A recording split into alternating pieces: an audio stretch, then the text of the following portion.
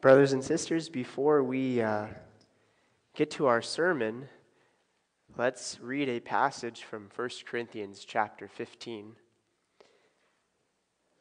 In this passage, we learn about death, that death is not good, that death is the result of sin, and that death without Christ is very, very powerful.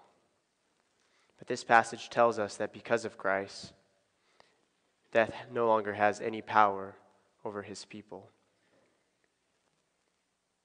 So let's start in verse 51, and the context of this is talking about the resurrection. The Apostle Paul says in 1 Corinthians 15, verse 51, Behold, I tell you a mystery. We shall not all sleep, but we shall all be changed in a moment, in the twinkling of an eye, at the last trumpet. For the trumpet will sound, and the dead will be raised imperishable, and we shall be changed. For this perishable body must put on the imperishable, and this mortal body must put on immortality. When the perishable puts on the imperishable, and the mortal puts on immortality, then shall come to pass the saying that is written Death is swallowed up in victory. O death, where is your victory? O death, where is your sting? The sting of death is sin, and the power of sin is the law, but thanks be to God who gives us the victory through our Lord Jesus Christ. Therefore, my beloved brothers, be steadfast, immovable, always abounding in the work of the Lord, knowing that in the Lord your labor is not in vain. We have a sister who died yesterday. But death is not the final word for her. Death, although powerful and although an occasion for great sorrow, because death is not good, death is evil. Our bodies and our spirits were not meant to be separate by death. Although death is an occasion for mourning, it is not the final word. We have great confidence, brothers and sisters, that our sister is with the Lord. And just notice in verse 54 and 55, this poetic three lines, you can almost hear Paul mocking death. Oh, death, where is your victory? For the Christian, we can look at death not with utter fear, but with confidence because Christ gives us the victory. Therefore, this passage says we should abound in the work of the Lord. So when we have just heard that our sister has passed away, yes, we mourn, but we also rejoice because that is not the final word. But we're also encouraged that those who are left, the 80, 90 people who are here today, we are called, therefore, to be steadfast, to be immovable, and always abounding in the work of the Lord. Let's pray. Lord, we are thankful that death is not the last word. That death, something that is very, very fearful, is no longer fearful for those who are in you. And Arlene was in you. Her death happened 2,000 years ago at the cross. And she will be resurrected soon. And we are so thankful for that reality. Help us as a church congregation to mourn, but to mourn well as those who have hope. And help us to be immovable. Help us to love our former pastor with great, great passion. Let raise up our church to abound in the work of the Lord, which means in this occasion showing great love to Jerry. Move our church this week to send flowers and letters and phone calls and text messages to this man that we love. And again, we are thankful that this is not the last word. In Jesus' name, amen. One other announcement uh, many of you knew or know that I was in Phoenix on Friday. I presented a paper at a conference and it went really well. And there was over 500 people there, uh, church members who wanted to learn about uh, the books that are in our Bible, and can we trust the words? Because a lot of arguments say you can't trust the Bible, it's been changed too many times. So, myself and six other people presented papers at this conference, and I think that the people who attended were, were encouraged in the Lord and walked away uh, with, with a greater conviction that when they preach the Word of God and teach the Word of God, they could truly say, Thus says the Lord. So thank you for your prayers and all your support. Uh, you definitely had, uh, are going to, an, going to harvest fruit from that. So I'm thankful for, for your prayers and your kindness. With that said, let's now get to our sermon. We are in Genesis chapter 14, and uh, the sermon title is The King of God's Kingdom. And children, at this moment, you guys can be dismissed for Children's Church. All right, the perfect word of our God that has been preserved for us without error and is meant for us to be transformed says to us in Genesis 14 In the days of Amraphel, king of Shinar, Arioch, king of Elasar, Chedorlaomer, king of Elam, and Tidal, king of Goyim, these kings made war with Bera, king of Sodom, Birsha, king of Gomorrah, Shinab, king of Admah, Shemeber, king of Zebulun, and the kings of and the king of Bela, that is Zoar. And all these joined forces in the valley of Siddim, that is the sea salt. Twelve years they had served Chedorlaomer, but in the thirteenth year they rebelled. In the fourteenth year of uh, Chedorlaomer, and the kings who were with him, uh, came and defeated the Rephaim in Ashtaroth uh, Karnaim, and the Zuzim in Ham, the Anim in Shaveh Kiriathaim, and the Horites in the hill country of Seir, as far as El Paran on the border of the wilderness. Then they turned back and came to En Mishpat, that is Kadesh, and defeated all the country of the Amalekites, and also the Amorites who were dwelling in Hazazon Tamar. Then the king of Sodom, the the king of Gomorrah, the king of Admah, the king of Ze- Zeboim, and the king of Bela, that is Zoar, went out, and they joined battle in the valley of Siddim with Chedorlaomer, king of Elam, Tidal, king of Goyim, Amraphel, king of Shinar, and Arioch, king of Elasar, four kings against five. Now the valley of Siddim was full of bitumen pits, and as the kings of Sodom and Gomorrah fled, some fell into them and the rest fled into the hill country.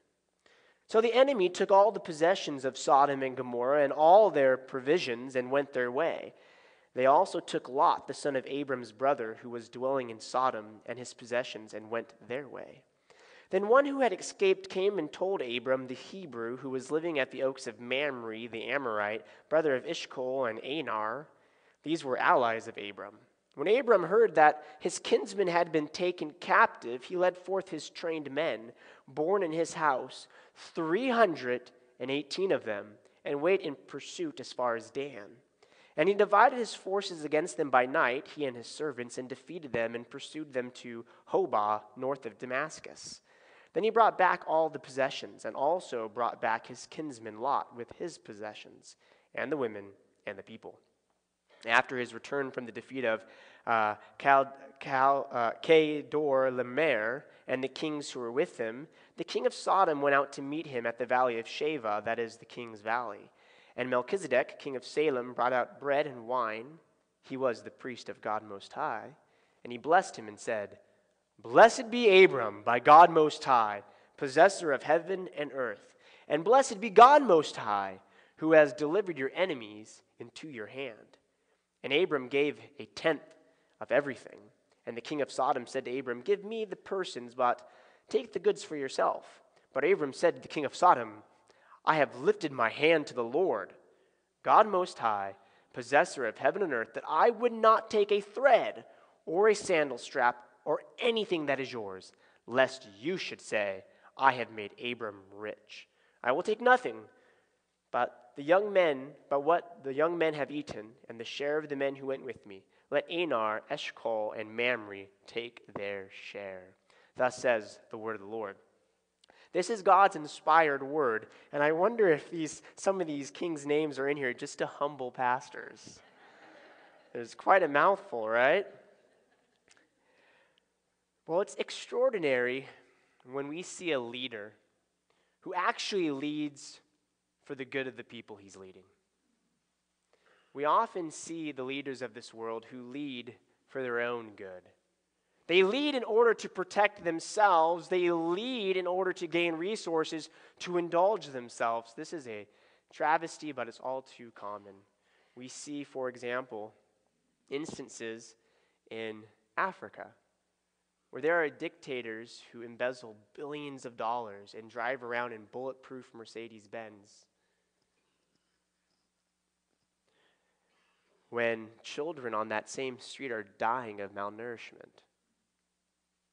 We have seen dictators, when they fall, living in impoverished countries who have expensive sports car collections. It's very easy for the leaders of this world to use their position to indulge themselves. Therefore, it is extraordinary when you see a leader who leads for the good of those whom he is leading. That's what we see in Genesis chapter 14. In Genesis chapter 14, we see a battle take place between five kings who live near the Dead Sea, south of the Dead Sea, who go to battle against four powerful kings of the east. These are the big, bad kings of this area, and there is a battle. But Moses does not record this chapter for us for a history lesson. The purpose of us having this in the Bible is not so that we could just know that roughly in 2100 BC there was a battle between four kings of the east and five weak kings of the south. That's not the point. The point of Moses recording for us this historical event is to show us a picture of what the king of God's kingdom looks like.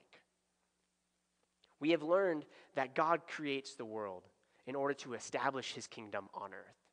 We've learned about God's word, how he reigns over his kingdom. We've learned about the people of God's kingdom, and we've learned about, about an alternative kingdom, the kingdom of the snake, and how the snake tempts us to join his kingdom. We've learned about all of that as we've been studying in the book of Genesis.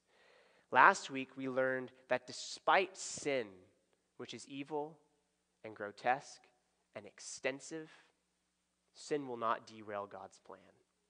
God will establish his kingdom on earth, and it will be established through Abraham and his offspring.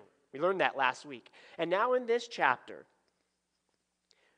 we get some details about what the king of this kingdom will look like.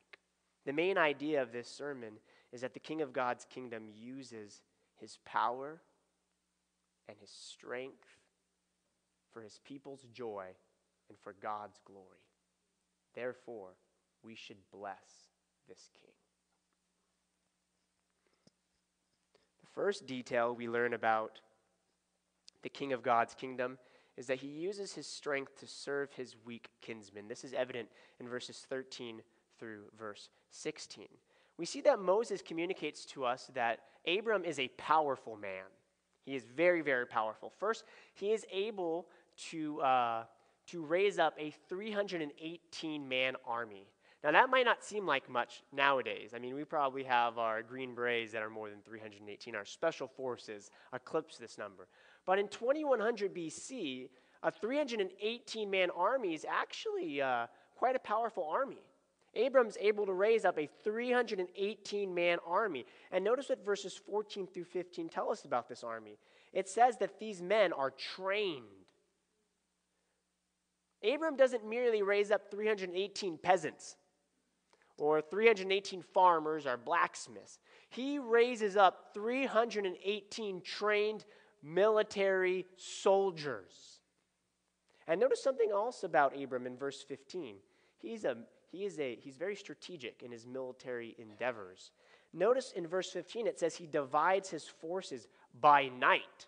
A nighttime ambush. That is a very successful uh, military uh, strategy. That's exactly what Abram does. So we learn that Abram's a powerful man. He has the ability to raise up a 318 man army of trained people, and he's able to employ a military strategy upon four kings of the east that are the big, bad muscles of the ancient Near East. This is a powerful man. But notice that Abram uses his power not to indulge himself. The last time we learned anything about Lot was in verse thir- chapter 13, And what we learned about Lot was that he's quite selfish. So if you remember in Genesis 13, and this, uh, my small ears, let's see, I must have shrunk over the weekend. I was in Phoenix. Maybe they're dehydrated. Not quite sure what's going on here. Um, I'll have to tilt my head a little bit like this for the rest of the sermon. See here. Okay. Um, the last thing we learned about Lot is he's quite selfish. If you remember, Lot and Abram are both herdsmen, and uh, they have a lot of cattle. And the land's not sufficient for them to all graze their cattle. So their herdsmen are starting to argue and quarrel. And Abram says, Hey, we're kinsmen, we're family. Let's not quarrel. Look, lift up your eyes and pick, pick whatever you want to go, and I'll go in the opposite direction. And what does Lot do? He lifts up his eyes and he's, he sees the best place. And he says, I'll take that place. There's no discussion. He doesn't say, you know, Abram, you know, the Jezreel Valley, that's a nice area. How about you take that place? He doesn't even say, hey, you know, the Jezreel Valley is a good place for us to have our herds. Maybe we could divide that area. No, he just says, I'll take that place. So notice now that when Abram re- hears that his kinsman, that selfish Lot, is taken captive, he doesn't respond with vindictiveness. He doesn't say, serves you right. You knew that those people of Sodom were big time sinners. You shouldn't have taken that spot. He doesn't respond with anger, he responds with faithful love and loyalty. What does Abram do? He raises up his 318 man army and he goes on a dangerous expedition. Four powerful kings that could smite a 318 man army. Yes, a 318 man army isn't, isn't, isn't peanuts in the ancient world, but you have four big bad kings who just went on a military adventure and who conquered everybody along the entire way. He's going to war against that. And he doesn't ask any question. The way Moses portrays it is he hears what has happened and he goes. And he goes as far as Dan, which is the most northern place of the region. So he goes with passion and fervency to a very far location to protect his kinsmen. So, what we're learning here is that Abram uses his strength and his power not to indulge himself. He uses his strength and his power to serve his weak kinsmen. What a picture of the gospel of Jesus Christ. We serve a God. We serve a king who reigns over God's kingdom, who doesn't use his position to indulge himself. That's what the gods of this world do. That's what the kings of this world do. That's not our God. Our God came to this earth not to be served, but to serve. We see that the king of God's kingdom, he takes the most humblest positions. Jesus has always been God, and he humbles himself and takes on flesh, being now fully God and fully man. He dies the most humiliating death possible to serve you and me. We are weak. We are not able to serve ourselves. But this is what Christ does. So, the king of God's kingdom, I need a smaller earpiece, I think. The king of God's kingdom uses his strength to serve his weak people. That's what Abram does, and that points us forward to the gospel of Jesus Christ, brothers and sisters. The second thing we learn about the king of God's kingdom is that the king embodies righteousness for the glory of God. The king of God's kingdom embodies righteousness for the glory of God. We see this clear in verse 17 through 24. The first piece of evidence that indicates this is that Abram identifies with Melchizedek. Notice in verse 17, we see that after the defeat of Cal uh, de Lemer and the kings who were with him, we see that two kings approach Abram Melchizedek who is the king of Salem, the priest of God Most High, and the king of Sodom. Now, who is Melchizedek? Melchizedek is a Canaanite king priest. So, in this region, they used to worship one God. And the king would also be a priest. But then this region devolved into polytheism awful worship practices of Baal, uh, awful religion. But before that, they were monotheistic. So Melchizedek is a human king priest but he's not like the kings of the ancient Near East. His name means king of righteousness. And the author of Hebrews makes an important point about that. Melchizedek means king of righteousness, and he is the king of Salem. He is the king of peace. Notice that he does not go to war. The five kings fight the four kings, and Melchizedek does not go to war. And notice what Abram does he identifies with Melchizedek. We see that in that Melchizedek brings out bread and water. Ally kings, after battle, they would dine together, indicating that they're allies. We see a close connection between Abram and Melchizedek. Also, Melchizedek blesses Abram, and Abram gives him a tenth. We see that Abram is identifying with the type of kingship embodied in Melchizedek. Now, we also see something very important in verses 19 through 20 Abram's loyalty to Lot, which is righteousness. It is right for God's people to be faithful and loyal to one another, leads Melchizedek to bless God. Abram's righteous living in being loyal to Lot, even when it meant his potential death, causes God to receive amazing glory. Let's read again verses 19 through 20. These are the words of Melchizedek. He says, And he blessed him and said, Blessed be Abram by God Most High, possessor of heaven and earth.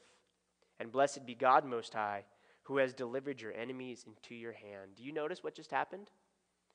Verse 19, after the introduction, uh, the first words of Melchizedek is, Blessed be Abram. But now notice verse 20, and blessed be God. Do you see the connection here? The connection is exactly what we're supposed to see. Melchizedek, Melchizedek recognizes that Abram is blessed by God. And that causes Melchizedek to bless God. So, what did Melchizedek recognize about God or recognize about Abram? He recognized that God fights for Abram. The God of the universe, the God that Abram serves, is the kind of God who fights for his people. That's what it means to be blessed. For Abram to be blessed, it means that he just doesn't have tanks on his side. He has the God of this universe on his side. That's what it means to be blessed. And when Melchizedek sees Abram being blessed, that God fights for him, guess what Melchizedek does? He blesses God. So here's here, and that's the point. Why was Abram blessed? So that the nations might be blessed. So, what does it mean to bless God? That is a very peculiar term because we know what it's like to be blessed, right? We say it all the time. Oh, bless you. Or, oh, um, how are you doing today? I'm blessed. What, is, what does that mean? Typically, we mean we're doing fine, or maybe even better than fine. Fine on steroids. We're doing well. But what does it mean to bless God? Right? What does it mean to bless the God who owns everything? It says, possessor of heaven and earth. How can you bless God? We bless God when we enrich God's reputation. You see, our God is the God of everything. He is the possessor of heaven and earth. He reigns supreme over every heart and over every single throne, over every single leader, and over every single wannabe God in this universe. Our God reigns supreme. And yet, there are people right now who are not worshiping our God. There are people right now who are finding their security and safety in a bank account number. They're worshiping money. We have right now people are finding their worth and their security in sexual relations. When people do that, seeking to find their safety and security in anything outside of God, what they're doing is enriching another's reputation. If you live for money, you're proclaiming to the world, money's the best. Money is the best. You're enriching the reputation of money. It ought not to be. Money's reputation ought not be the best. God must have the best reputation, for He is the God of the universe. So you and I have the ability to enrich God's reputation when we make a reality now what's a reality in heaven. So you and I can bless the God of this universe by enriching his reputation. How do we do that? Well, how did Abram do that? God fought for him. Is God fighting for you? How has God fought for us, brothers and sisters? Most clearly at the cross of Jesus Christ. You see, Abram was defeat. Uh, what God fought for Abram uh, and defeated four powerful kings, but those kings are dwarfs compared to the enemy we have. We don't just have a physical enemy; we have a spiritual enemy who not just has the ability to take us captive physically, but we have an enemy who has the power to take you captive spiritually in hell forever. That's the enemy we have. And if you're in Christ, if you have trusted in Jesus Christ, then you have been delivered from that enemy. So, do your lost friends and neighbors and family members look at your life and say, God fights for you? If they do, they will see an incredibly attractive picture of our God. And what a reputation that is. What a reputation. You see, for God to be powerful enough to judge you and me, that's a reputation, right? It demonstrates God has power. But what about this reputation? God not only has the power to judge sinners, God has the power to save sinners. God delights. What about this reputation? The God of this universe delights in fighting for sinners like you and me. That is the greatest reputation there is. Can there be anything better than that? And we get it. Because when we see uh, when we see Saddam Hussein, who had luxury cars galore, and he falls, we scorn him. But when we see a leader who uses his power and his resources to serve the weak, we bless that person. We get it. This is the best reputation ever. Announce this to your lost friends, to your lost neighbors, to your lost family members. Brothers and sisters, are you enriching God's reputation? Are you enriching the reputation of another? If you're finding your security and safety in anything besides the blood of Jesus, you are a threat, and I am a threat to God's reputation. Let's not let that be, brothers and sisters. You see, Abram, he was in a dangerous, a very uh, peculiar situation. Go up against these bad, bad, bad, mean kings from the east, I might die. No, he prized faithfulness and loyalty by his righteous living, Melchizedek saw that God fights for Abram and he blessed God. So let's think about that just for a moment. When you and I live like we were called to live, we see God fighting for us and our lost, maybe even spouses, our lost neighbors see something incredibly attractive.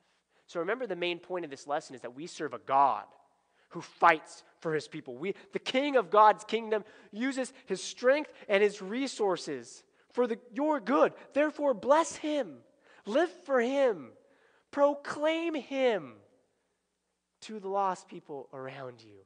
Enrich his reputation for your joy and for God's glory.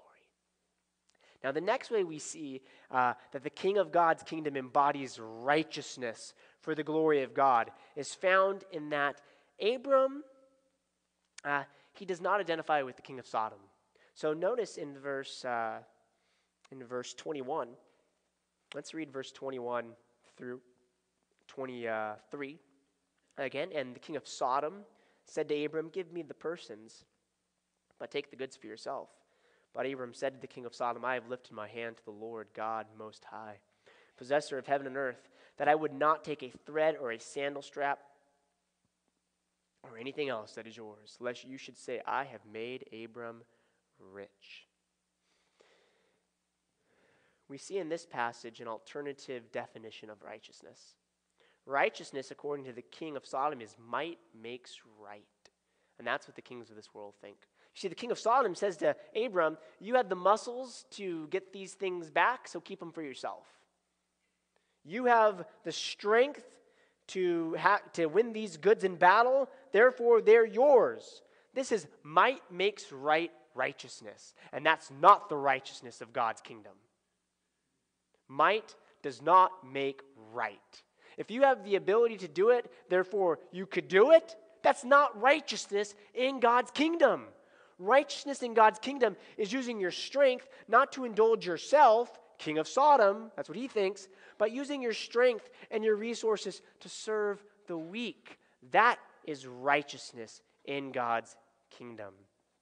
So notice what Abram does.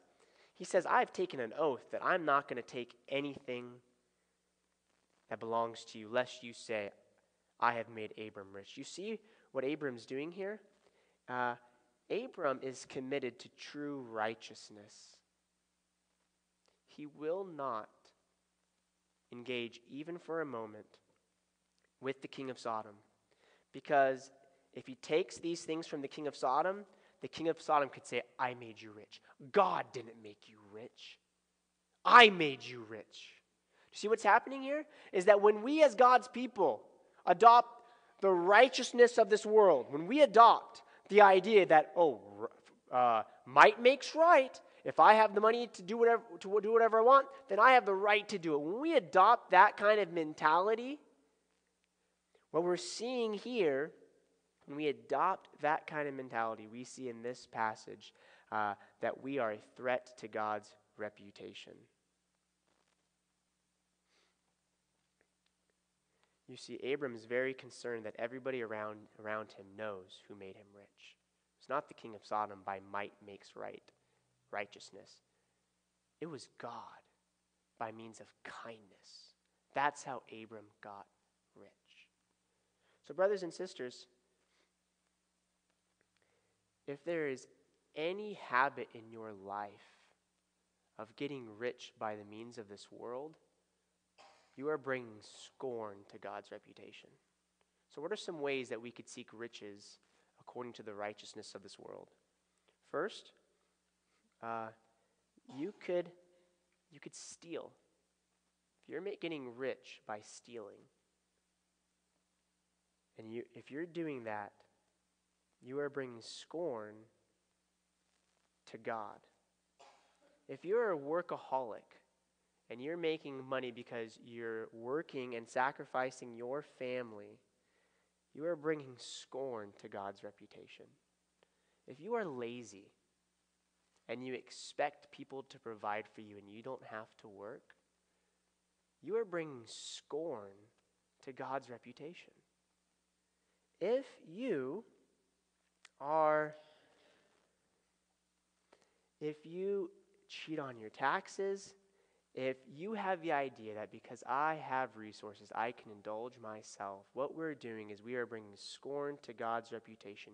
What is making you rich is not God, but it is the ways of this world. And that will never end in your joy, and it will never end in God being blessed. You see, we serve a God who is the king of his own kingdom. We serve a God who uses his strength to serve the weak. We serve a king who embodies righteousness for his own glory and for our joy. That's the king we serve. Therefore, brothers and sisters, let's forsake the righteousness of this world. And let's embrace with joy the righteousness of God. Let's use our resources to care for one another. And let's then watch this lost community all around us come to know God. Do you want our lost friends at Baldy View Elementary? Do you want your lost friends in your workplace and your lost family members to come to know the Lord? Then live a life where it's clear to them that it's God who's fighting for you. It's not you who's fighting for yourself. And it's not this world that's fighting for you. When we engage in that, brothers and sisters, this world can do nothing other than bless the God who deserves the richest reputation of all. So, for the glory of God's reputation, for your own joy and for the joy of the lost. Let's, let's reveal to this world that God fights for us. Let's pray. God, you are good, and you delivered Abram from his enemies, and you have delivered us from our enemies. Help us, Lord, please help us not to be like the king of Sodom. Help us to be like Melchizedek, a king of righteousness, a king of peace. Let us be the type of people who spread peace in this world and who are righteous in our living, so that when this world sees us, they might see the God of this universe that they were meant to enjoy. Let them see you. I pray for my brothers and sisters today that they would be encouraged with great passion to live for your glory for the sake of your reputation. And we pray these things in Jesus' name. Amen.